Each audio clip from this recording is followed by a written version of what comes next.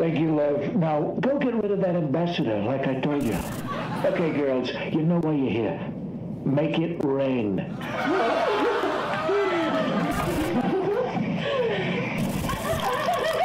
Come on, girls, more theme. I'm Donald Trump, and I like everything covered in gold. That's right, all over the Bible,